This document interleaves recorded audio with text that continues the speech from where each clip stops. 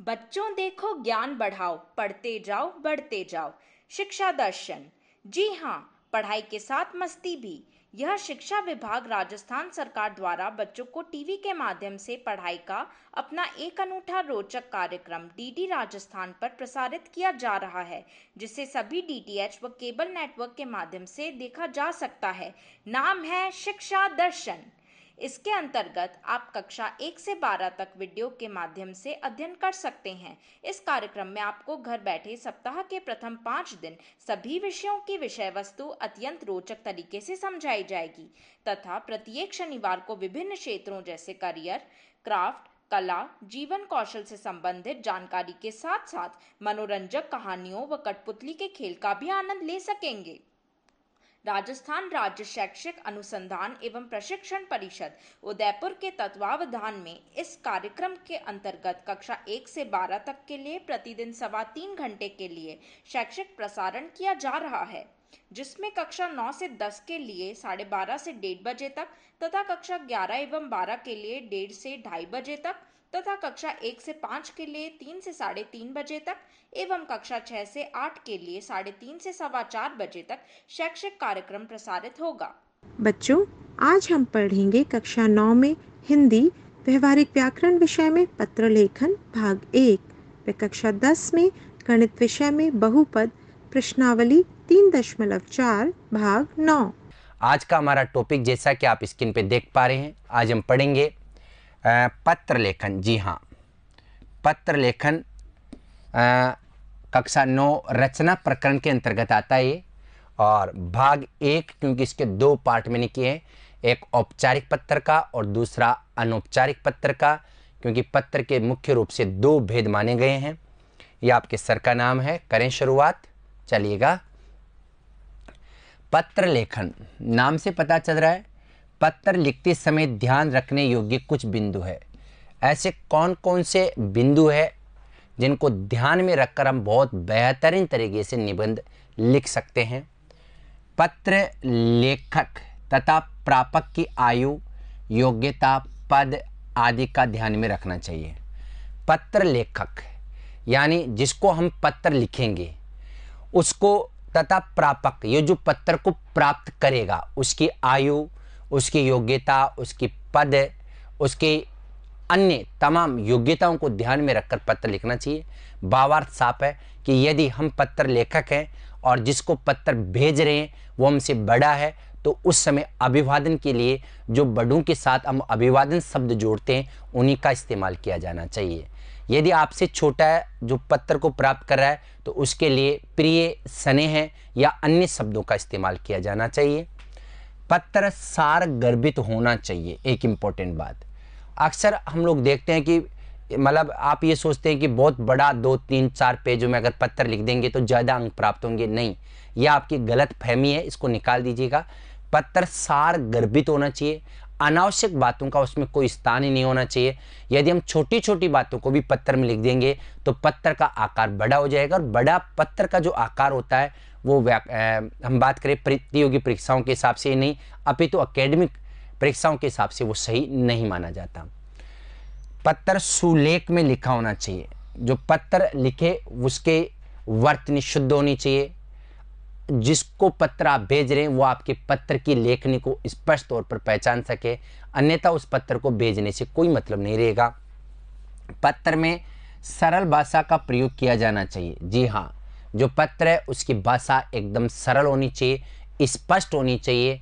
और मैं तो यूँ कहूँगा कि बहुत ही आसान भाषा का प्रयोग होना चाहिए, ताकि जिस आपके और जो सामने वाला है, जिसको आप पत्र भेज रहे हैं, उनके बीच में उस पत्र के हाव भाव को, भाव भंगिमाओं को अच्छी तरह से समझा जा सके।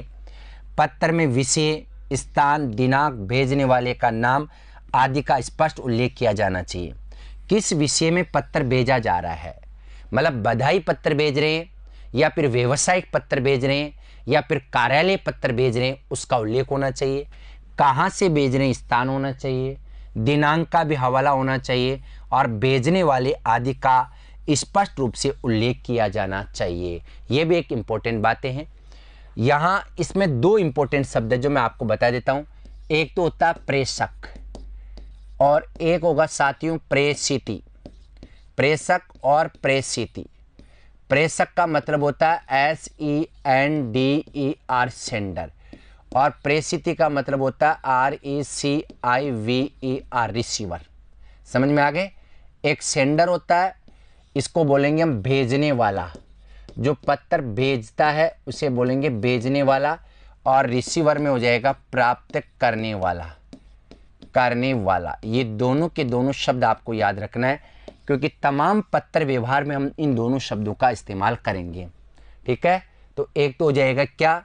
प्रेषक भेजने वाला और एक हो जाएगी प्रेषिति, प्राप्त करने वाला। ठीक है?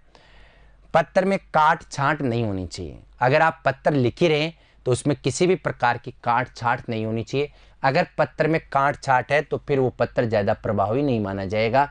अमूमन, हम लोगों को ये चाहिए, जो निष्कर्ष तौर पर मैं बात करना चाह रहा हूँ, वो ये है कि पत्र सार गर्भित होना चाहिए, उसी शैली में लिखा जाना चाहिए, जिस शैली में अगला, जिसको पत्र आप भेज रहे हैं, वो पढ़ सके। काट छांट नहीं होना चाहिए। व्याकरणिक शुद्धता पर पूर्णतः ध्यान देना चाहिए। इन बिंदुओं को ध्यान में रखकर यदि पत्र व्यवहार करेंगे तो आपके पत्र व्यवहार का जो तरीका है या आपका पत्र लिखने का उद्देश्य निस्संदेह रूप से सफल हो पाएगा। पत्रों के कौन कौन से प्रकार हैं? पत्रों को दो वर्गों में विभक्त किया जा सकता है। एक तो होता औपचारिक और एक होता अनौपचारिक। औपचारिक पत्र और एक होता अनौपचारिक। फॉर्मल लेटर और बिना फॉर्मल अनफॉर्मल लेटर औपचारिक पत्र क्या होता है? ये देख लीजिएगा। औपचारिक पत्र व्यवहार उन व्यक्तियों के साथ किया जाता है। कहाँ हम औपचारिक पत्र का प्रयोग कर सकते हैं? औपचारिक पत्र व्यवहार उन व्यक्तियों के साथ किया जाता है जिनके साथ पत्र लेखक का कोई निजी या पारिवारिक संबंध नहीं होता। एक इंपॉर्टेंट बात तो। औपचारिक पत्र कब लिखा जाता है? जैसे मैं हूँ। और यदि आप मेरे जानकार है तो मैं आपको औपचारिक पत्र नहीं लिखूँगा। बात साफ़ है, पत्र लेखक का अगर मान लीजिए व्यक्तिगत या निजी संबंध है तो औपचारिक पत्र नहीं लिख सकते। उसी स्थिति में लिखा जा सकता है, जैसे मैं लिखने वाला हूँ, आप पढ़ने वाले हैं, आप प्राप्त करने वाले हैं तो मैं आपको पत्र भेजूँगा तो औपचारिक पत्र की श्रेणी में आ जाएगा। औपचारिक पत्रों में व्यक्तिगत समाचार पर बातचीत अथवा आत्मीयता का कोई स्थान नहीं होता। मतलब आत्मीयता होनी नहीं चाहिए। कौन से पत्रों में? औपचारिक पत्रों में। जैसे मान लीजिए मैं आपको जानता हूँ तो मैं तो कहूँगा, और रमेश कैसे नहीं, ये औपचारिक पत्र नहीं है। इस प्रकार के पत्रों में मुख्य तथ्य ही केंद्र में होता है। जो बात आप कहना चाहते हो, वही बात केंद्र, यानी मूल भूमिका के अंतर्गत वही बात होती है जो आप कहना चाहते हो। इसमें आत्मीयता, अपनापन, लगाव, इन शब्दों का कोई भी स्थान नहीं होता। औपचारिक पत्रों में निम्नांकित प्रकार के पत्र शामिल किए जा सकते हैं। मतलब इन इन पत्रों को औपचारिक पत्रों में शामिल कर सकते हैं। नंबर एक है प्रार्थना पत्र। ये भी किसमें आता है? औपचारिक पत्र में। यदि आप अपने प्रधानाचार्य को अवकाश के लिए पत्र लिखते हैं तो साथियों, वो पत्र किसमें आएगा? औपचारिक पत्र में। विद्यालय के प्रधानाचार्य प्रधानाचार्य या मुख्य अध्यापक या मुख्य अध्यापकों को अवकाश शुल्क की मुक्ति, आर्थिक सहायता के लिए कि मेरे पास पैसे नहीं है, मेरी फ़ीस माफ़ करनी चाहिए। छात्रवृत्ति अथवा विद्यालय से संबंधित किसी प्रकार की कठिनाई या समस्या से संबंधित जो पत्र लिखते हैं, वो किसमें आएगा? प्रार्थना पत्र में आएगा। ठीक है? एक बार फिर रिपीट कर रहा हूँ।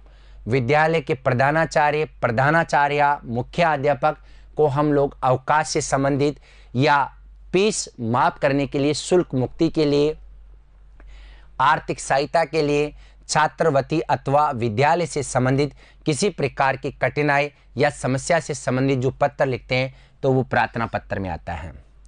आवेदन पत्र, ये क्या होता है? आवेदन पत्र में बता देता हूँ। किसी कंपनी, संस्था अथवा औद्योगिक इकाई आदि में नौकरी आदि के लिए, अगर कहीं आप नौकरी लगना चाहते हैं, उनके लिए यदि आप आवेदन पत्र प्रस्तुत करते हैं तो वह औपचारिक पत्र होगा। फिर बता रहा हूँ, किसी भी कंपनी में, संस्था में अगर आप नौकरी चाह रहे हैं और पत्र दे रहे हैं, लिख रहे हैं तो वो औपचारिक पत्र में आता है। प्रश्न उठता है कि कैसे? अरे बा, भाई, वहाँ हम लोग उसको तो जानते नहीं किसको, जो संस्था का मालिक है तो आपके और उनके बीच में किसी प्रकार का व्यक्तिगत संबंध है ही नहीं। बधाई पत्र किसी अधिकारी द्वारा अपने अधीनस्थ व्यक्ति की किसी विशेष सफलता या उपलब्धि आदि के लिए जो पत्र लिखता है, यानी मान लीजिएगा, मैं प्रधानाचार्य हूँ, मेरे अंडर में मान लीजिए मेरा लेक्चर है या सेकंड ग्रेड है या थर्ड ग्रेड टीचर है, अगर वो कोई बहुत बढ़िया उपलब्धि प्राप्त करते हैं तो मैं उनको जो पत्र लिखूँगा, वो कौन सा पत्र होगा? औपचारिक पत्र, हालाँकि वो बधाई पत्र है, लेकिन बधाई पत्र भी किसमें आता है? औपचारिक पत्र में आएगा। शुभ कामना पत्र किसी अधिकारी द्वारा अपने विभाग में कार्यरत किसी कर्मचारी की विदेश यात्रा। वही बात है जैसे मैं प्रधानाचार्य हूँ, फिर रिपीट कर रहा हूँ। अगर मेरे विभाग का कोई भी व्यक्ति विदेश यात्रा पर जा रहा है तो मैं उसको क्या लिख सकता हूँ? शुभकामना पत्र लिख सकता हूँ। यदि मान लीजिए किसी का प्रमोशन हो जाती है, पदोन्नति हो जाती है तो मैं उस समय जो पत्र लिखूँगा, वो शुभकामना पत्र तो होगा ही होगा, लेकिन वो किसके अंतर्गत आएगा? वो जो पत्र है, वो साथियों आएगा औपचारिक पत्र में। धन्यवाद पत्र क्या होता है? किसी विशेष उत्सव कार्य गोष्ठी कार्यक्रम, शिविर, प्रशिक्षण, कार्यक्रम आदि में सहयोग देने के लिए किसी विशेषज्ञ, शिक्षावद आदि को धन्यवाद देने के लिए जो पत्र काम में लेते हैं, उन्हें धन्यवाद पत्र कहा जाता है। एक बार पुनः सुनिएगा। किसी विशेष उत्सव, होली है, दीपावली है, ईद है कार्य गोष्ठी कार्यक्रम, शिविर, प्रशिक्षण कार्यक्रम आदि में सहयोग देने के लिए, किसी विशेषज्ञ आदि को धन्यवाद देने के लिए जो पत्र काम में लेते हैं, उसे क्या कहा जाता है? धन्यवाद पत्र और धन्यवाद पत्र भी किसमें आएगा? ये भी आएगा आपका औपचारिक पत्र में। सांत्वना पत्र, किसी अधिकारी द्वारा अपने अधीनस्थ व्यक्ति के लिए, स्वयं या उसके परिवार के किसी सदस्य के दुर्घटनाग्रस्त हो जाने या किसी अन्य प्रकार की शोकजनक घटना पर सांत्वना देने के लिए जो पत्र काम में लिया जाता है, उसे क्या कहा जाता है? सांत्वना पत्र। समझ में आ गए? कोई अधिकारी है और मान लीजिए उसके अंडर में बहुत सारे लोग काम कर रहे हैं, वहाँ किसी भी व्यक्ति के अगर मौत हो जाती है या उनके परिवारजनों की मौत हो जाती है तो वहाँ जो पत्र लिखा जाता है वो सांत्वना पत्र होता है और सांत्वना का मतलब शांति प्रदान करने के लिए जो पत्र लिखा जाता है वो सांत्वना पत्र होता है। मैं आपकी जानकारी के लिए एक बात बताना चाहूँगा कि सांत्वना पत्र हो चाहे धन्यवाद पत्र हो चाहे शुभकामना पत्र हो बधाई पत्र हो आवेदन पत्र हो प्रार्थना पत्र हो ये सारे के सारे पत्र किसके अंतर्गत आएँगे? ये सारे के सारे आएँगे औपचारिक पत्र में। मैं फिर रिपीट कर रहा हूँ जहाँ अप, अपनी जानकारी नहीं हो किसी से भी वहाँ जो पत्र लिखते हैं वो औपचारिक पत्र होगा। शिकायती पत्र भी औपचारिक पत्र में आएगा। किसी समस्या से संबंधित अपने विचार या कठिनाई अधिकारियों तक पहुँचाने के लिए जो पत्र लिखते हैं, उसे शिकायती पत्र कहा जाता है। फिर रिपीट कर रहा हूँ। किसी समस्या से संबंधित अपने विचार या कठिनाई अधिकारियों तक पहुँचाने के लिए जो पत्र लिखते हैं, वो शिकायती पत्र होता है। संपादक के पत्र क्या होता है? किसी समाचार पत्र के संपादक के माध्यम से अपनी बात सरकार अधिकारियों तक पहुँचाने के लिए, जैसे मान लीजिए, अपने यहाँ विद्युत कटौती हो रही है तो हम दैनिक भास्कर के प्रधान संपादक के नाम पत्र लिख सकते हैं कि साहब, आप अधिकारियों या राज्य सरकार को चेताइए कि हमारे बिजली की आपूर्ति सुचारू तौर पर जारी हो सके। तो जो संपादक पत्र है, वो भी किसमें आएगा? औपचारिक पत्र की श्रेणी में आता है। व्यावसायिक पत्र व्यवसाय पत्र जानते हैं क्या? मतलब बिज़नेस के लिए। जैसे मान लीजिए मेरे कपड़ों का व्यापार है। मैं किसी और को लिखूँगा कपड़े का व्यापार के लिए, या मान लीजिए मेरे दवाइयों का व्यापार है तो अगले को भी हम लिख सकते हैं। व्यापारिक प्रतिष्ठानों, प्रकाशियों, पुस्तक विक्रेताओं आदि को लिखे गए पत्र क्या कहलाते हैं? व्यवसायिक पत्र। कौन से पत्र होंगे? व्यवसायिक पत्र है। यहाँ तक आपको बात समझ में आ गई होगी। तो मैं एक बार फिर रिपीट कर देता हूँ। औपचारिक पत्र में कौन कौन से आएँगे? बोलिए, प्रार्थना पत्र भी किसमें आता है? औपचारिक में। आवेदन पत्र किसी के लिए आप दे सकते हो, प्रधानाचार्य को, वो भी किसमें आएगा? औपचारिक में। बधाई पत्र भी आप दे सकते हैं, ये भी औपचारिक में। इसी प्रकार हम बात करते हैं। देखिएगा, शुभकामना पत्र भी औपचारिक में, धन्यवाद पत्र भी औपचारिक पत्र में आएगा, सांत्वना पत्र भी औपचारिक में आएगा, शिकायती पत्र भी औपचारिक में आएगा, संपादकीय पत्र भी औपचारिक में आएगा, व्यवसायिक पत्र भी किसमें आएगा, औपचारिक के अंतर्गत ही आता है।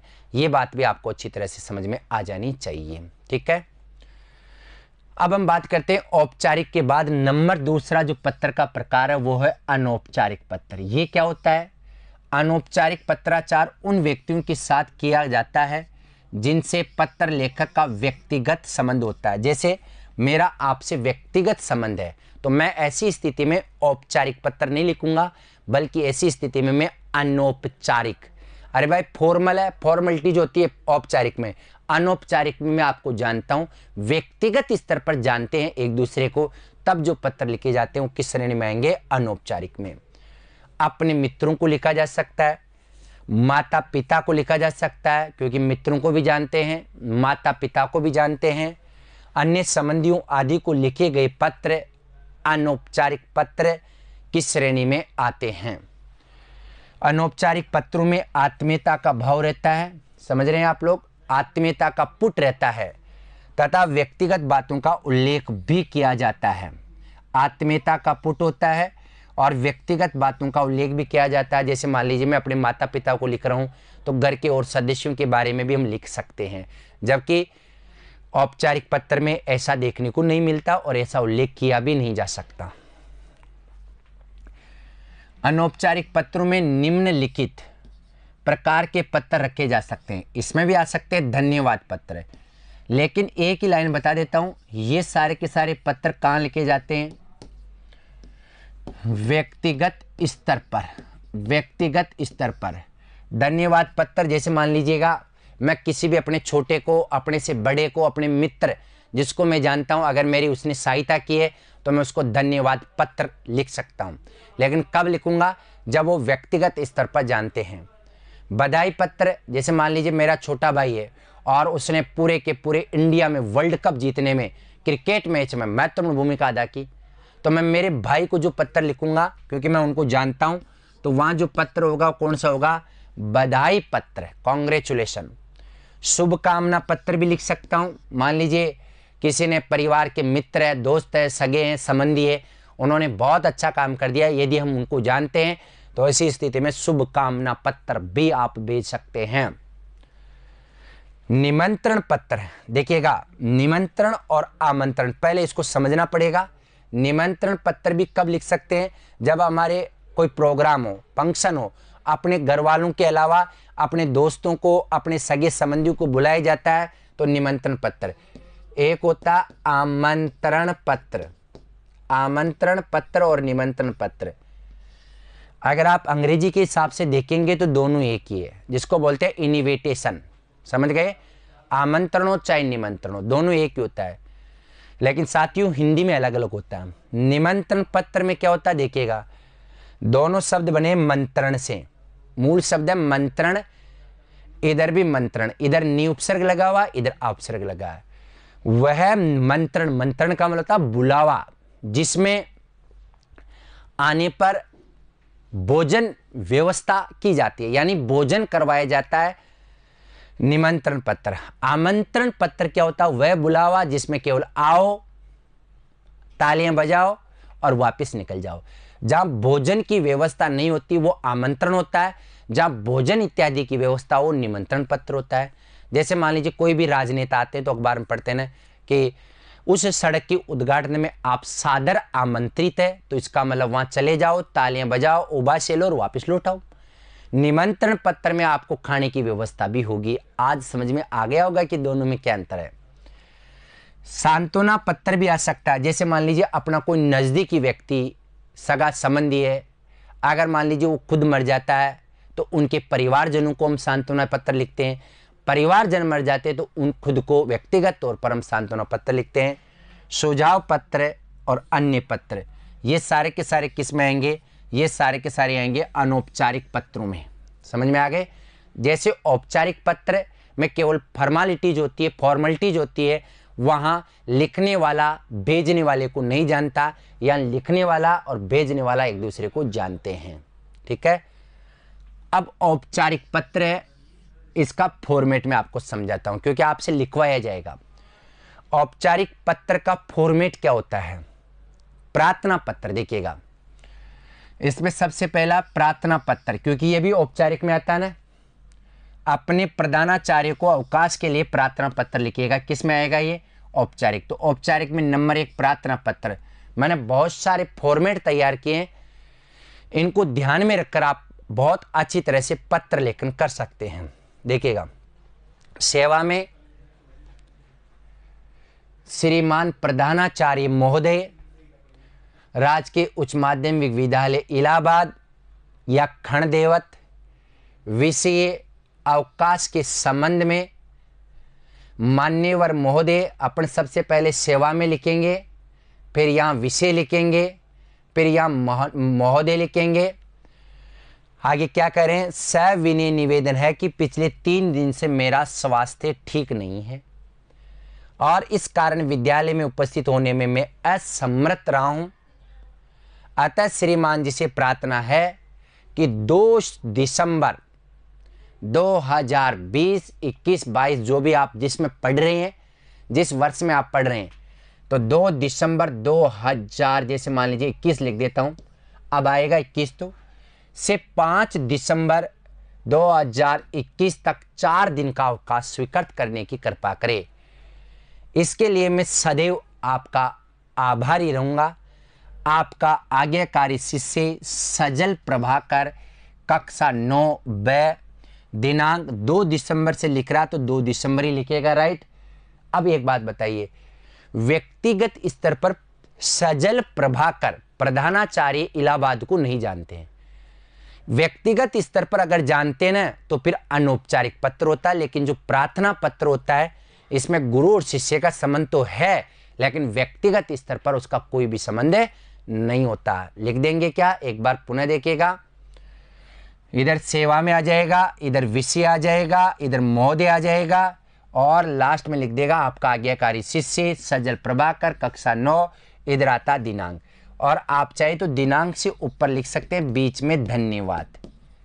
कहा? इसके नीचे, देखिएगा, ये। कक्षा नौ के इस साइड में मतलब समझ रहे हैं आप लोग? यहाँ। फिर नीचे दिनांक आ जाएगी। आप चाहे तो लिख सकते हैं, नहीं भी चाहे तो कोई दिक्कत नहीं है। बुक बैंक योजना से पाठ्य पुस्तकें प्राप्त करने के लिए अपने विद्यालय के प्रधानाचार्य को एक प्रार्थना पत्र लिखो। यह भी कौन सा पत्र हो गया? बोलिए जी, औपचारिक। ठीक है, एक प्रार्थना पत्र लिखेगा औपचारिक। सेवा में श्रीमान प्रधानाचार्य मोदे रमन उच्च माध्यमिक विद्यालय लखनऊ, उत्तर प्रदेश। ठीक है? सेवा में प्रधानाचार्य को लिख रहे हैं, विषय क्या है? बुक बैंक योजना से पाठ्य पुस्तकें प्राप्त करने के संबंध में कोई बुक बैंक योजना है उसके माध्यम से पाठ्य पुस्तक यानी किताबें प्राप्त करने के संबंध में। महोदय, निवेदन है कि मैं आपके विद्यालय में कक्षा नौ ए का विद्यार्थी हूँ। बिल्कुल सही है। मेरे पिताजी वृद्ध एकदम बुज़ुर्ग है, कमज़ोर है। आर्थिक विपन्नता के कारण, यानी मेरे पास पैसे नहीं, आर्थिक संपन्नता का मतलब पैसे वाला और आर्थिक विपन्नता के कारण मैं बड़ी कठिनाई से अपना अध्ययन कार्य चला पा रहा हूँ। मैंने किसी प्रकार विद्यालय शुल्क तो जमा करा दिया है। मतलब आपके स्कूल में फ़ीस तो जमा करा दिए किंतु पाठ्य पुस्तकों का प्रबंध कर पाने में असमर्थ हूँ, यानी मैं किताबें नहीं खरीद सकता। मैंने पिछले वर्ष कक्षा नौ की परीक्षा में पैंसठ प्रतिशत अंक प्राप्त किए थे। मतलब पिछले साल कक्षा नौ तो आठ में लिख दो, सात में लिख दो, जो भी है जैसे आप नवी के हैं तो पिछले वर्ष कक्षा आठ आ जाएगा इधर। समझ में आ गए? कि परीक्षा में पैंसठ प्रतिशत अंक प्राप्त किए थे। आशा है, आप इस वर्ष भी मेरे लिए बुक बैंक योजना से पाठ्य पुस्तकों की व्यवस्था कराने का कष्ट करेंगे। बिल्कुल सही है। बुक बैंक योजना से बच्चों को बहुत कम शुल्क लेकर उनको पुस्तकें दी जाती है। और जैसे ही आपका सत्र, जिसको आप कहते हैं सेशन, समाप्त होता है तो उन किताबों को वापस जमा करवा दिया जाता है, ताकि अगले सेशन में फिर किसी नीडी व्यक्ति को, जरूरतमंद व्यक्ति को उनसे सहायता मिल सके।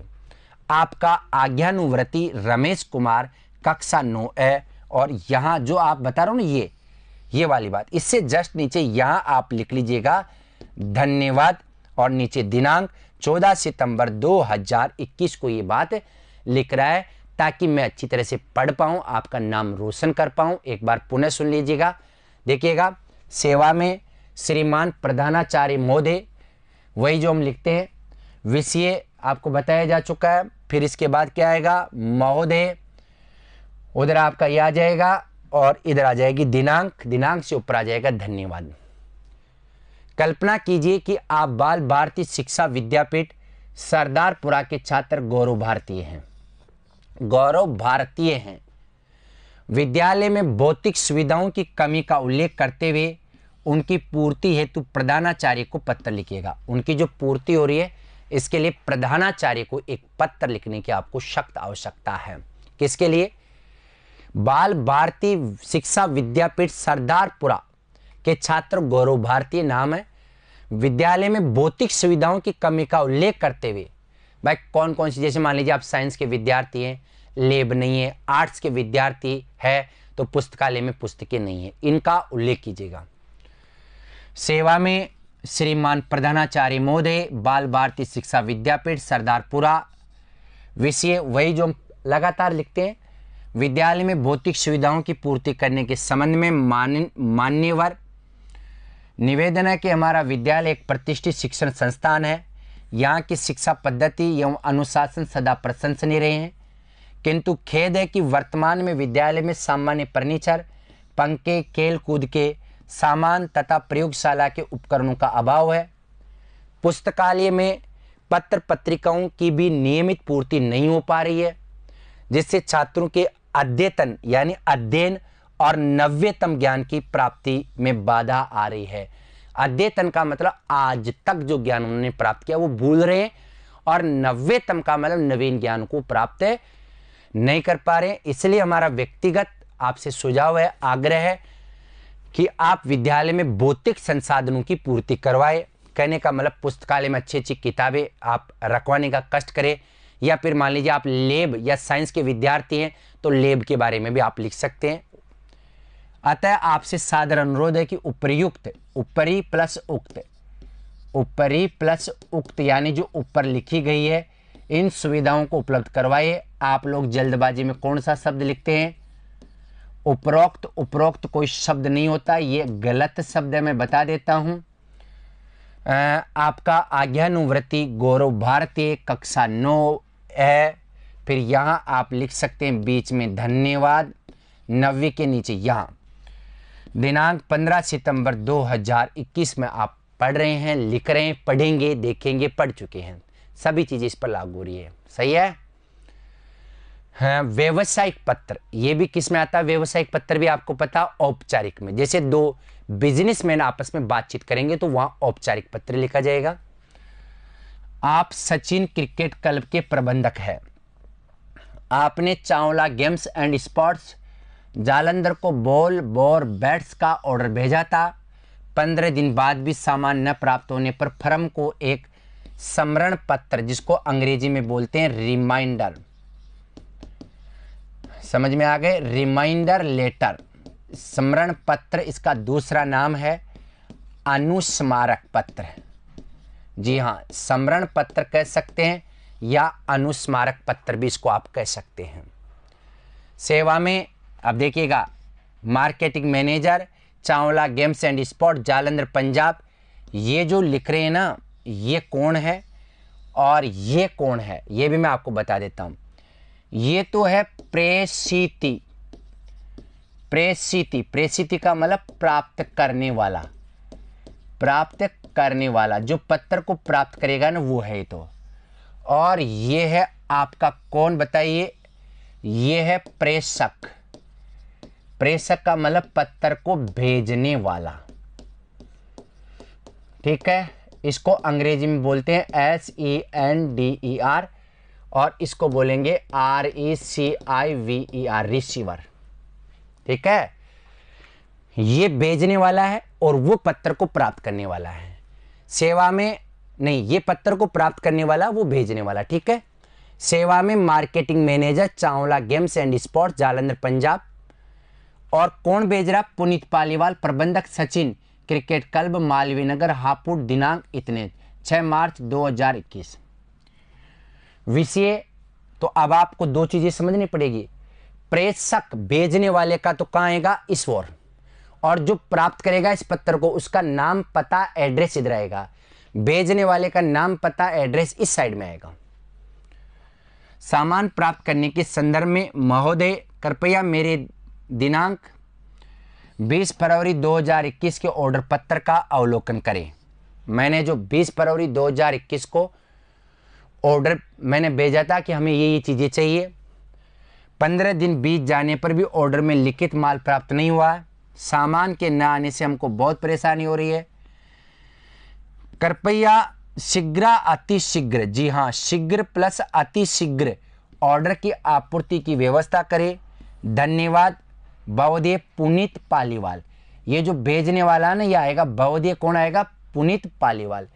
एक ही चीज़ याद रखना है, इधर तो जो पत्र को प्राप्त करेगा उसका पता, नाम सहित, इधर जो भेज रहे उसका नाम पता, विषय में वही आ जाएगा, नीचे ही नीचे क्या आ जाएगा? पुनीत। यानी जो भेजने वाला है, उसका सिग्नेचर और उनके कहने का मतलब नाम नीचे नीचे आएगा बौद्धि में।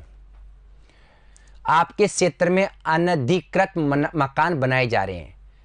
अनधिकृत का मतलब अनऑथराइज इनकी रोकथाम के लिए जिला अधिकारी को एक पत्र लिखो। मान लीजिए जिस इलाके में आप रह रहे हैं, वहाँ अनावश्यक रूप से लोग मकान बना रहे हैं, अनलीगली बना रहे हैं, जो वैधानिक ढंग से सही नहीं है तो वहाँ आप इसकी रोकथाम के लिए जिला शिक्षा अधिकारी को पत्र लिखिए। फिर मैंने बताया ना, सेवा में जिला शिक्षा अधिकारी रतलाम। ठीक है? ये कौन है बताइए? ये है प्रेसिति। प्रेसिति का मतलब हो गया R E C I V E R receiver का मतलब हो गया प्राप्त करने वाला, जो इस पत्र को प्राप्त करेगा। और ये कौन है? भेजने वाला, जिसको हम बोलेंगे नाम से प्रेषक। अंग्रेज़ी में S E N D E R sender और इधर हो जाएगा प्राप्त करने वाला। ये भेजने वाला, प्राप्त करने वाला नहीं भेजने वाला सेंडर, ठीक है? वही दिनांक 19 जनवरी 2021 आप लिख दीजिएगा। विषय अनधिकृत निर्माण के विषय में महोदय यहाँ आएगा या आएगा? मैं आपका ध्यान, ध्यानाकर्षण, ध्यान प्लस आकर्षण से ध्यानाकर्षण विहार में बड़े पैमाने पर हो रहे अनधिकृत निर्माणों की ओर आकर्षित करना चाहता हूँ। हाँ मैं आपका ध्यान, ऐसे लिखो, ध्यान कर्षण विहार में। बड़े पैमाने पर कॉलोनी का नाम है। हो रहे अनधिकृत निर्माणों की ओर आकर्षित करना चाहता हूँ। इस कॉलोनी में कुछ भूमाफिया स्थानीय अधिकारियों की मिली भगत से निरंतर यानी लगातार अनधिकृत, यानी जो वैधानिक नहीं है, निर्माण करा रहे हैं। सार्वजनिक मार्ग की भूमि दबाई जा रही है। तथा नाले पर कब्जे के प्रयास भी हो रहे हैं। सार्वजनिक पार्क का तो कोई पता ही नहीं है कि सार्वजनिक जो पार्क था ना, उसका तो पता ही नहीं, खा गए उसको तो। इस बारे में विकास प्राधिकरण को भी कई बार सूचित किया गया है, लेकिन इस दिशा में कोई कदम नहीं उठाया गया है। आशा है आप इस दिशा में शीघ्र ही उचित कार्रवाई करने की कृपा करेंगे। मतलब कॉलोनी के किसी एक व्यक्ति ने जिला अधिकारी को ये पत्र लिखा है कि कॉलोनी में अवैध रूप से मकान बन रहे हैं। बाग बगीचे या लोन वगैरह जो छोड़ा जाता है, कुल मिला के नियम के अनुसार कॉलोनी नहीं कट रही अवांछित और अनावश्यक मकान बन रहे हैं। करने की कृपा करेंगे। धन्यवाद। बहुदेव महेश्वर आचार्य। आपका महेश्वर आचार्य। महेश्वर आचार्य उस कॉलोनी का निवासी या कोई भी लिख सकता है। आपके मोहल्ले का डाकिया ठीक समय से डाक वितरण नहीं करता। इस संबंध में डाकपाल को शिकायती पत्र लिखो। जो डाकिया आज तो जमाना ही नहीं रहा, लेकिन फिर भी पत्रों की जो परंपरा वो कायम है। लिख देते हैं, क्या दिक्कत है? हैं, ये देखिएगा, मैंने आपको बताया, जिसको लिख रहे हैं तो ये हो गया प्रेषित प्राप्त करेगा ये, और ये भेजने वाले हैं। समझ में आ गए? प्रेषक भेजने वाले। पत्र को भेजने वाला इधर आएगा। समझ में आ गए? और पत्र को प्राप्त करने वाला का नाम और पता इस साइड में आएगा, ठीक है? सेवा में डाकपाल मोदे, नगर भरतपुर आशीष त्यागी जो भेज रहा है, सचिव है नागरिक कल्याण परिषद नगर जिला भरतपुर में।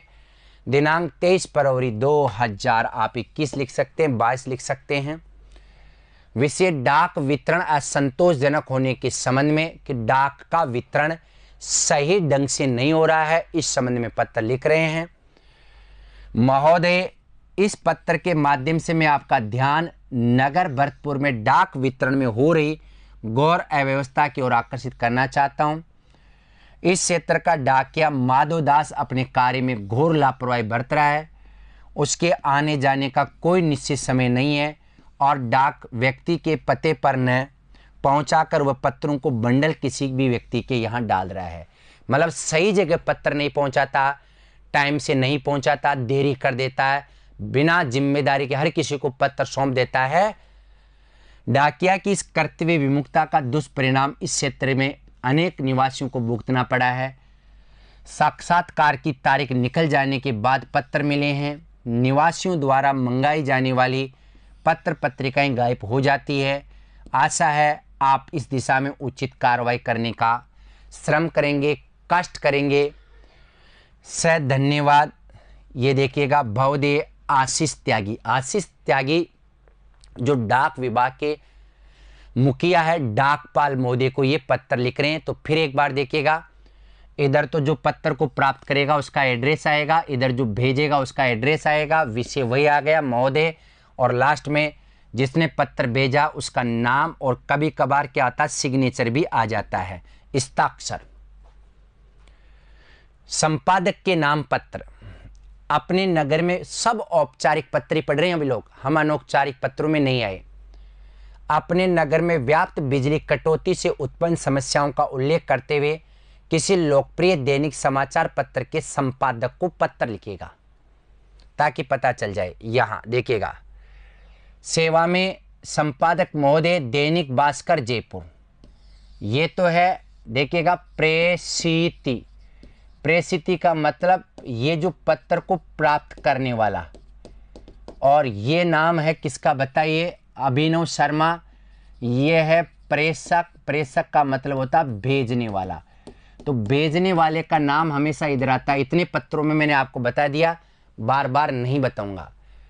अभिनव शर्मा, सी.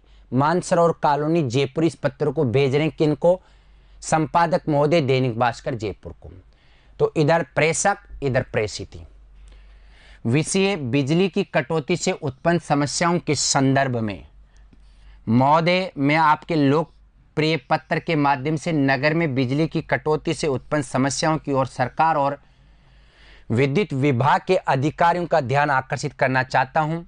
भीषण गर्मी के मौसम में बिजली की निरंतर हो रही कटौती से जनता अत्यधिक त्रस्त यानी परेशान हो चुकी है।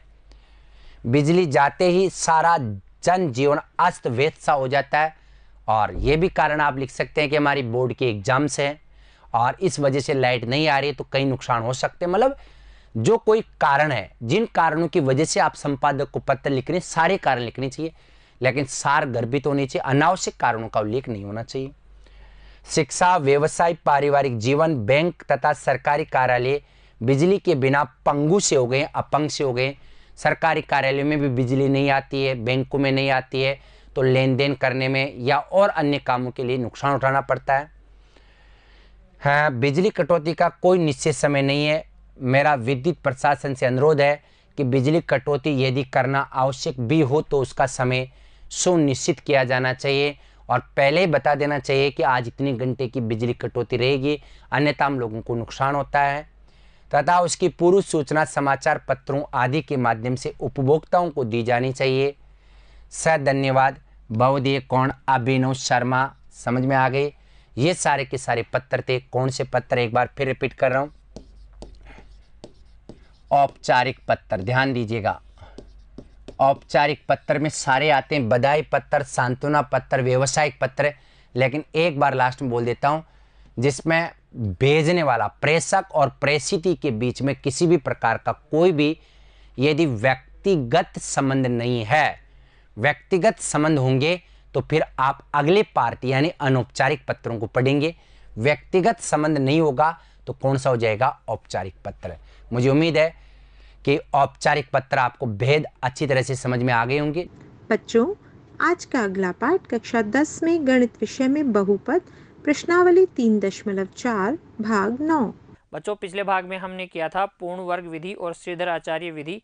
आज हम करेंगे इन दोनों विधियों पर आधारित प्रश्नावली 3.4 कॉपी और पेन लेके तैयार रहिए बच्चों। बढ़ते हैं प्रश्न संख्या एक की तरफ़। देखिए बच्चों प्रश्न संख्या एक क्या है? पूर्ण वर्ग बनाने की विधि द्वारा द्विघात समीकरण को हल कीजिए। आपको पूर्ण वर्ग बनाने की विधि द्वारा क्या करना है? द्विघात समीकरण जो दे रखा है, उसको हल करना है। पूर्ण वर्ग विधि की चर्चा हमने पिछले ही वीडियो में की थी। क्या थी पूर्ण वर्ग विधि? सबसे पहले अचर पद का पक्षांतरित करते हैं, फिर एक्स के स्क्वायर के गुणांक के भाग लगाते हैं, फिर एक्स के गुणांक के आधे का वर्ग दोनों तरफ़ जोड़ते हैं, दोनों और वर्गमूल लेते हैं और इस तरीके से आगे हम हल कर लेते हैं बच्चों। आपको याद है पूरी विधि? चलिए तो करते हैं। फ़र्स्ट क्वेश्चन देखिए क्या है। फ़र्स्ट क्वेश्चन आपके पास है, तीन एक्स स्क्वायर माइनस पाँच एक्स प्लस दो बराबर ज़ीरो। सबसे पहले क्या करेंगे? अचर पद का पक्षांतरण करेंगे तो तीन एक्स स्क्वायर माइनस पाँच एक्स बराबर माइनस दो। यहाँ फिर हम क्या करते हैं? एक्स स्क्वायर के गुणांक का भाग लगाते हैं तो तीन एक्स स्क्वायर बटे तीन माइनस पाँच एक्स बटे तीन बराबर माइनस दो बटे कितना बच्चों? तीन। ये आपके पास आ जाएगा एक्स स्क्वायर माइनस पाँच बटे तीन एक्स बराबर माइनस दो बटे तीन। अगर आपको विधि अच्छे से क्लियर नहीं है बच्चों तो स्टेप्स भी आप साथ साथ में इधर लिखते चलिए अचर पद का पक्षांतरण करने पर। जैसा कि मैंने उदाहरण में आपको बताया था, एक्स स्क्वायर के गुणांक का भाग देने पर। ठीक है, अब हम क्या करते हैं? इस समीकरण में जो हमारे पास एक्स का गुणांक आया है पाँच बटे तीन, इसका क्या करेंगे हम? आधे का वर्ग दोनों तरफ़ जोड़ देंगे। तो गुणांक कितना है? माइनस पाँच बटे तीन है, इसका आधा कितना हो जाएगा? माइनस पाँच बटे छः हो जाएगा, और इसका वर्ग हम क्या करेंगे? दोनों ओर जोड़ देंगे बच्चों तो इसका वर्ग दोनों ओर जोड़िए। एक्स स्क्वायर माइनस पाँच बटे तीन एक्स अपनी जगह एक्स के गुणांक का आधा हो गया माइनस पाँच बटे छः, इसका वर्ग आप दोनों तरफ़ जोड़ देंगे तो आपको मिल जाएगा माइनस पाँच बटे छः का वर्ग। इस तरीके से समीकरण मिल जाएगा। देखिए, इधर माइनस दो बटा तीन है। इसमें भी हम क्या करेंगे? माइनस पाँच बटे छः का वर्ग जोड़ देंगे। क्या फ़ायदा होगा? एल एच एस में आपको मिल जाएगा a square plus two a b plus b square, और जो कि क्या होता है? ए प्लस बी का होल स्क्वायर होता है। ये इस रूप में आपको दिख रहा है बच्चों। तो ये हो जाएगा एक्स प्लस बी की जगह कितना है? माइनस पाँच बटे छः का होल स्क्वायर बराबर कितना है बच्चों? माइनस दो बटे तीन प्लस पच्चीस बटे कितना? छत्तीस। माइनस पाँच का स्क्वायर पच्चीस और छः का स्क्वायर कितना हो गया बच्चों? छत्तीस। अब आप क्या करेंगे? आप आप इसे देखिए, ये हो गया आपके पास x माइनस पाँच बटे छः का होल स्क्वायर इधर आप एलसीएम ले लीजिए, कितना जाएगा? छत्तीस। तीन का भाग लगाइए, बारह बार, बारह को दो से गुणा करेंगे तो यहाँ जाएगा माइनस चौबीस प्लस पच्चीस और यानी कि ये हो जाएगा एक बटे छत्तीस। फिर हम क्या करते हैं बच्चों? हम लेते हैं दोनों ओर वर्गमूल तो हम लिखेंगे दोनों ओर दोनों ओर वर्गमूल लेने पर, दोनों ओर वर्गमूल लेने पर जब हम दोनों ओर वर्गमूल लेते हैं तो इधर तो बच जाएगा x माइनस पाँच बटे छः। एक बटे छत्तीस का वर्गमूल कितना हो जाएगा? यहाँ एक बटे छः आ जाएगा। क्योंकि आपने दोनों ओर वर्गमूल लिया है, इसीलिए हम किसका साइन लगाएँगे? प्लस माइनस का साइन लगाएँगे और x बराबर यहाँ हो जाएगा पाँच बटे छः प्लस माइनस एक बटे छः। अब क्या करते हैं बच्चों? हम एक बार प्लस का साइन लेते हैं और एक बार माइनस का साइन लेते हैं। तो यहाँ देखिए प्लस साइन लेने पर, प्लस साइन लेने पर x बराबर आ जाएगा पाँच बटे छः प्लस एक बटे छः, अर्थात छः बटे छः, और x का मान कितना आ गया? एक आ गया। और माइनस साइन लेने पर बच्चों क्या आ जाएगा? x बराबर पाँच बटे छः माइनस एक बटे छः, अर्थात चार बटे छः, और चार बटे छः का मतलब कितना हो गया? दो बटे तीन, ये चार बटे छः आएगा। और चार बटे छः का मतलब कितना हो गया? दो बटे तीन। पूर्ण वर्ग विधि, सिर्फ़ आपको क्या करने हैं? कुछ चरणों का अनुसरण करना है और आपके पास हल मिल जाता है बच्चों। देखिए नेक्स्ट पार्ट इसका। पूर्ण वर्ग बनाने की विधि द्वारा द्विघात समीकरण को क्या करना है? हल करना है। समीकरण आपको दे रखा है। स्टैंडर्ड रूप में ही दे रखा है। A x square plus b x plus c बराबर ज़ीरो के रूप में ही दे रखा है। तो आप इसको ऐसे ही रहने दीजिए। ठीक है, माइनस दो बराबर ज़ीरो। फिर प्रथम चरण में हम अचर पद का पक्षांतरण करते हैं तो ये हो जाएगा पाँच एक्स स्क्वायर माइनस छः एक्स बराबर प्लस का दो। माइनस का दो उधर जाके ज़ीरो में ऐड हो जाएगा और कितना हो जाएगा प्लस का दो। इसके बाद में हम क्या करते हैं, एक्स स्क्वायर के गुणांक का भाग लगाते हैं। तो जब आप एक्स स्क्वायर के गुणांक का भाग लगाओगे तो एक्स स्क्वायर माइनस छः बटे पाँच एक्स बराबर कितना आ जाएगा बच्चों, दो बटे पाँच आ जाएगा। इसके बाद में हम क्या करते हैं? एक्स के गुणांक के आधे का वर्ग दोनों तरफ़ जोड़ते हैं। एक्स का गुणांक है माइनस छः बटे पाँच और माइनस छः बटे पाँच का जो आधा होता है, वो होता है माइनस छः बटे दस। इसका वर्ग हम क्या कर देंगे? दोनों ओर जोड़ देंगे बच्चों। माइनस छः बटे दस का वर्ग दोनों ओर जोड़ देंगे। उससे क्या फ़ायदा होगा आपको? ये आपको मिल जाएगा इस रूप में x square minus two into x into minus छः बटे दस, यहाँ प्लस लगा लेते हैं।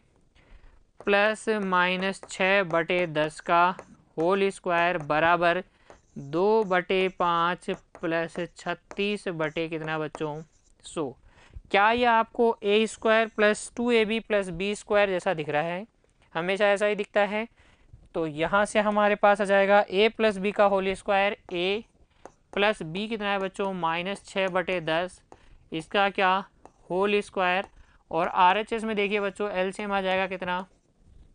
सो आर एच एस में एल सी एम आ जाएगा सो और ये देखिए पाँच का जब आप सौ में भाग लगाएँगे, बीस बीस में को दो से गुणा करके लिखेंगे तो कितना आ जाएगा? चालीस। और प्लस कितना, ये कितना है? छत्तीस। अब आप क्या करते हैं? आप करते हैं दोनों और वर्गमूल। तो लिखेंगे दोनों और वर्गमूल लेने पर। जब आप दोनों और वर्गमूल लेते हैं तो ये हो जाएगा x माइनस छः बटे दस, ठीक है? और इधर बच जाएगा आपके पास रूट में प्लस माइनस चालीस और तीस कितना हो गया? छत्तीस। चालीस और छत्तीस कितना हो गया? छिहत्तर बटे सौ। और ये आ जाएगा x बराबर ये माइनस का छः बटे दस उधर जाके प्लस का छः बटे दस हो जाएगा। प्लस माइनस रूट छिहत्तर कितना होता है बच्चों? रूट छिहत्तर लिख सकते हैं। दो रूट उन्नीस, ठीक है? दो रूट उन्नीस क्या होता है? रूट छिहत्तर, क्योंकि छिहत्तर को आप क्या लिख सकते हैं? छिहत्तर को आप लिख सकते हैं बच्चों, दो गुणा दो गुणा उन्नीस बटे सौ, और सौ का रूट कितना होता है? दस, ठीक है बच्चों? क्लियर है? अब देखिए, एलसीएम ले लीजिए तो आपके पास यह जाएगा एक्स बराबर छः प्लस माइनस दो रूट उन्नीस बटे दस। दो कॉमन लेके काट दीजिए तो एक्स बराबर आ जाएगा तीन प्लस रूट उन्नीस बटे पाँच। तो ये क्या हो जाएगा? हल हो जाएगा तीन प्लस माइनस रूट उन्नीस बटे पाँच, दोनों हल हो जाएँगे। एक बार प्लस का ले लीजिए साइन और एक बार माइनस का ले लीजिए। ठीक है बच्चों पूर्ण वर्ग विधि में तो कोई दिक्कत नहीं आने वाली है आपको, क्योंकि हमने बहुत अच्छे से समझे हैं सारे चरण। दो हमने प्रश्न भी कर लिए, एक हमने एग्ज़ाम्पल लगा लिया। अब देखिए एक और प्रश्न। प्रश्न संख्या एक का भाग तीन। पूर्ण वर्ग की विधि से आपको क्या करना है? समीकरण को हल करना है और समीकरण आपको स्टैंडर्ड रूप में ही दे रखा है। चार एक्स स्क्वायर प्लस तीन एक्स प्लस पाँच बराबर ज़ीरो। क्या करते हैं हम? सबसे पहले वही अचर पद का पक्षांतरण। चार एक्स स्क्वायर प्लस तीन एक्स बराबर माइनस पाँच। फिर क्या करते हैं बच्चों? याद कीजिए, हम करते हैं एक्स स्क्वायर के गुणांक का भाग। एक्स स्क्वायर के गुणांक का भाग लगा देंगे तो ये हो जाएगा। एक्स स्क्वायर प्लस तीन बटे चार एक्स बराबर माइनस पाँच बटे चार। फिर हम क्या करते हैं? X के गुणांक के आधे का वर्ग दोनों तरफ़ जोड़ देते हैं तो x का गुणांक तीन बटे चार है। इसका वर्ग, इसका आधा कितना हो जाएगा? तीन बटे आठ हो जाएगा। उसका वर्ग आपको क्या करना है? दोनों और जोड़ देना है बच्चों। तो ये तो बन जाएगा आपके पास x का square plus two a b plus b square और इधर आपके पास आ जाएगा बच्चों, माइनस पाँच बटे चार प्लस तीन का स्क्वायर नौ और आठ का स्क्वायर कितना? चौंसठ। आठ का स्क्वायर कितना बच्चों? चौंसठ मिल जाएगा। और आगे आप इसको लिखेंगे, एलएचएस में तो आपको मिल गया ए प्लस बी का होल स्क्वायर और आर एच एस में एल आ गया आपके पास सिक्सटी फोर। चार और चौंसठ का एल्सियम कितना आता है? चार और चौंसठ का लैसे आता है चौंसठ। चौंसठ में जब आप चार का भाग लगाएँगे तो सोलह बार जाएगा। सोलह को माइनस पाँच से गुणा करेंगे तो कितना आ जाएगा? अस्सी आ जाएगा क्या बच्चों? सोलह पंजे कितना होता है? अस्सी प्लस ये कितना चल रहा है? नौ। तो आप यहाँ से देखेंगे x प्लस तीन बटे आठ का होल स्क्वायर किसके बराबर आ गया? माइनस इकहत्तर बटे चौंसठ के।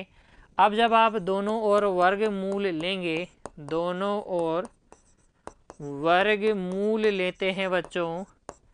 तो वर्ग मूल लेने पर आपके पास x प्लस तीन बटे आठ बराबर आ जाएगा रूट के अंदर माइनस इकहत्तर बटे चौंसठ, वो भी किसमें प्लस माइनस अब रूट के अंदर क्या आ गई है? ऋणात्मक संख्या आ गई है, तब आपको पता पड़ गया कि ये कहाँ, यहाँ मूल कैसे होंगे?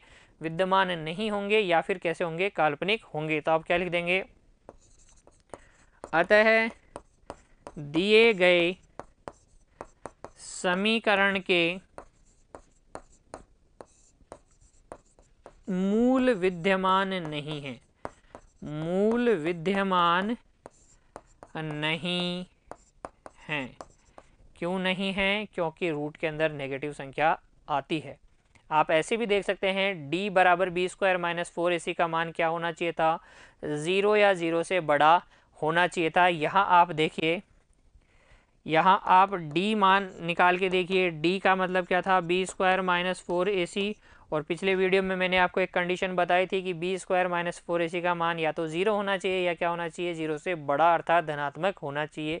यहाँ आप निकाल के देखिए बी का मान कितना है? तीन ए का मान है चार और सी का मान कितना है? पाँच। तो तीन, चार, पाँच हो गया। तो देखिए बी का मान है तीन फोर ए का मान फोर और सी का मान फाइव, यहाँ पे नो माइनस कितना हो गया? अस्सी, जो कि कितना है? माइनस इकहत्तर, जो कि क्या है? ऋणात्मक है। और हमने पढ़ लिया था कि अगर क्या है, डी का मान ऋणात्मक है, b square minus four a c का मान ऋणात्मक है तो मूल विद्यमान नहीं होंगे, जो कि हमने यहाँ लिखा है। आपने देखा, विधि भी अप्लाई किए तब भी आपके साथ यही आया। आप डायरेक्ट भी पता कर सकते थे कि मूल विद्यमान है या नहीं। और मैंने कहा था कि इसकी चर्चा हम क्या करेंगे? आगे आने वाले वीडियो में करेंगे, जब हम द्विघात समीकरण के मूलों के प्रकृति के बारे में अध्ययन करेंगे। ठीक है बच्चों? देखिए नेक्स्ट क्वेश्चन प्रश्न संख्या एक का भाग चार, यहाँ पर आपको वही पूर्ण वर्ग बनाने की विधि द्वारा क्या करना है? द्विघात समीकरण के हल ज्ञात करने हैं। समीकरण आपके पास ये है। क्या है समीकरण? चार एक्स स्क्वायर प्लस चार रूट तीन एक्स प्लस तीन बराबर कितना? ज़ीरो। सबसे पहले वही काम अ, क्या करेंगे? अचर पद का पक्षांतरण तो चार एक्स स्क्वायर प्लस चार रूट तीन एक्स बराबर माइनस तीन। उसके बाद में आप क्या करते हैं? उसके बाद में आप एक्स स्क्वायर के गुणांक का भाग लगाते हैं तो चार का जब आप भाग लगाएँगे एक्स स्क्वायर के गुणांक कितना है? चार। इसका भाग लगाएँगे तो एक्स स्क्वायर प्लस रूट तीन एक्स बराबर माइनस तीन बटा चार बचेगा। क्लियर है? अब आप क्या करते हैं? एक्स के गुणांक के आधे का वर्ग दोनों तरफ़ जोड़ते हैं। तो यहाँ पर आपको मिल गया है, एक्स का गुणांक कितना है? रूट तीन है। और रूट तीन का आधा कितना होता है? रूट तीन बटे दो। इसका वर्ग आप क्या कर देंगे? दोनों तरफ़ जोड़ देंगे। रूट तीन बटे दो का वर्ग आप दोनों तरफ़ जोड़ेंगे तो यहाँ तो आपके पास दिख गया आपको a square plus two a b की जगह रूट तीन बटे दो प्लस बी स्क्वायर बराबर माइनस तीन बटे चार प्लस तीन बटे चार। रूट तीन का स्क्वायर कितना होता है? तीन और दो का स्क्वायर चार। एल एच एस में आपको क्या मिल गया है बच्चों? वही ए प्लस बी का whole square a plus b कितना है? रूट तीन बटे दो का होल स्क्वायर बराबर कितना बच्चों? ज़ीरो दोनों ओर हम क्या ले लेंगे अब? वर्गमूल ले लेंगे दोनों ओर। वर्ग मूल लेने पर आपको मिल जाएगा x प्लस रूट तीन बटे दो बराबर प्लस माइनस ज़ीरो का वर्गमूल कितना होता है? ज़ीरो अतः x के दो मान जो आपको मिले हैं, वो क्या हैं? माइनस रूट तीन बटे दो और अगला भी क्या? माइनस रूट तीन बटे दो ही। क्योंकि ज़ीरो को जोड़ने या घटाने पर कोई भी प्रभाव नहीं पड़ना है। तो द्विघात समीकरण के मूल कैसे हैं बच्चों? दोनों मूल वास्तविक हैं और समान हैं। दोनों मूल कैसे हैं? वास्तविक और समान। वास्तविक का मतलब वास्तविक संख्या। इस प्रकृति के बारे में भी हम आगे आने वाले भागों में चर्चा करने वाले हैं कि कब मूल समान और वास्तविक होंगे। यहाँ आपको ये ध्यान रखना है कि मूल समान भी आ सकते हैं और अलग अलग भी आ सकते हैं या ऐसा भी हो सकता है कि मूल विद्यमान ही नहीं हो।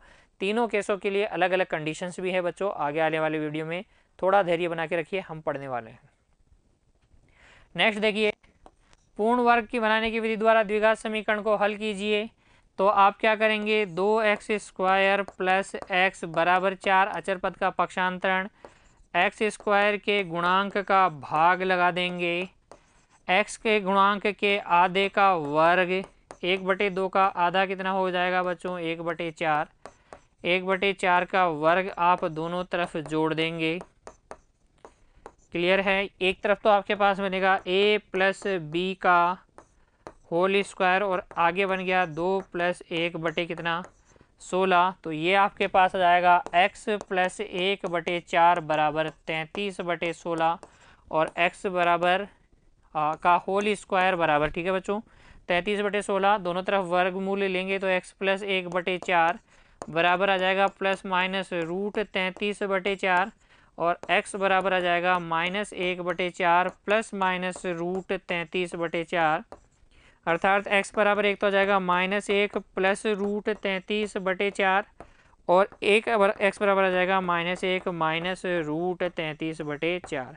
तो x के दो मान आपको मिल गए हैं, पूर्ण वर्ग विधि से आपको इसने आपने इसको हल कर लिया है बच्चों।